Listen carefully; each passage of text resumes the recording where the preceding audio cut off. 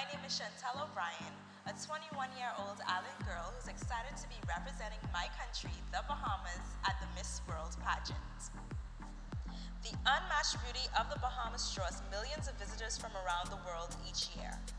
Our waters are so incredibly clear that their playful blue and green hues can be seen all in their glory from as far as outer space.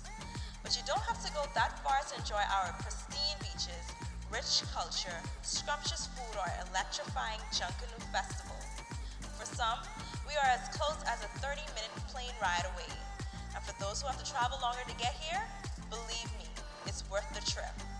With the world at my feet, my dream of capturing the Miss World title has been fueled by faith and seeing, and also by my mother, who has been my greatest motivator. She is a single parent, but a powerhouse on her own, and without her, a lot of my success would not be possible.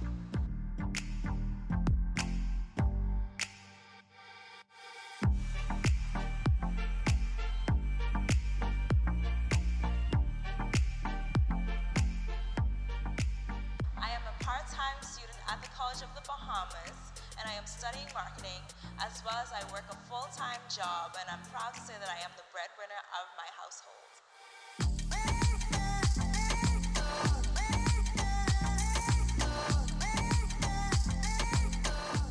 It has often not been easy, but I have learned that dreams don't work unless you do.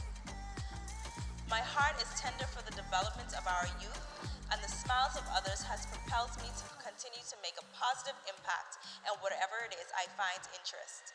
I am looking forward to meeting my fellow delegates from around the world, and I hope to make history in Sanya, China.